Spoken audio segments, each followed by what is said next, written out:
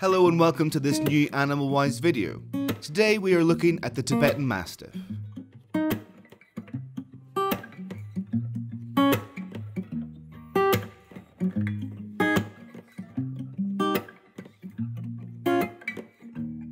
The Tibetan Mastiff is also known as the Do-Khyi, although some breeders also differentiate another type known as a Tsang-Khyi. They are one of the oldest Oriental breeds and were first mentioned in history by Aristotle, who lived between 384 and 322 BC. They are working dogs formerly used by nomadic Himalayan shepherds as well as protectors of Tibetan monasteries. When Tibet was invaded by China in the 1950s, these dogs practically disappeared. Fortunately, some of these dogs were later found in India and Nepal, being used to bring the breed back. Evidence suggests that the Tibetan Mastiff is related to certain mountain dogs such as the Bernese and the Great Pyrenees. Their characteristic bark is unique and they are a highly valued breed. The Tibetan Mastiff stands out for being strong and powerful, large in size, very robust and imposing. Their breed standard describes them as being solemn and serious in appearance with a majestic strength.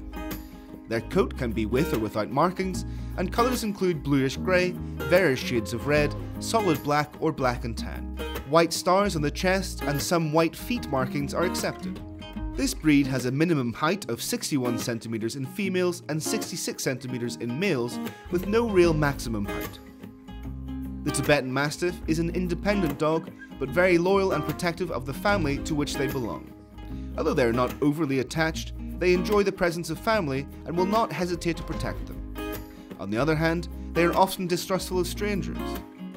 They usually get along with other dogs and animals, especially other large dogs. This is, of course, dependent on proper socialization when young.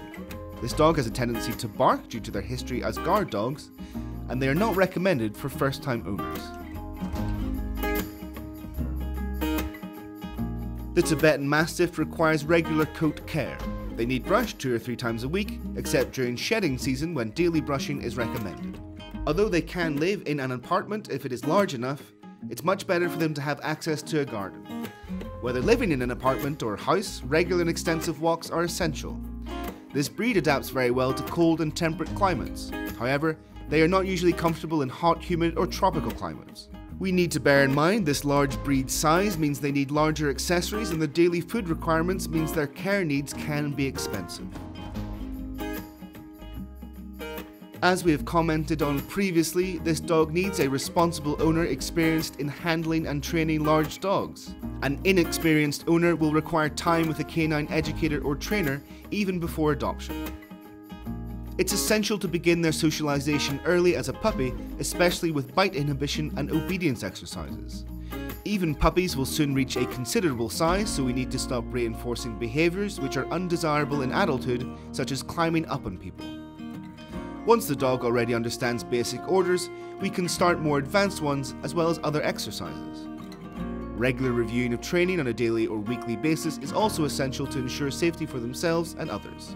For any anomalous or problematic behaviours, going to a specialist will likely be necessary to prevent them.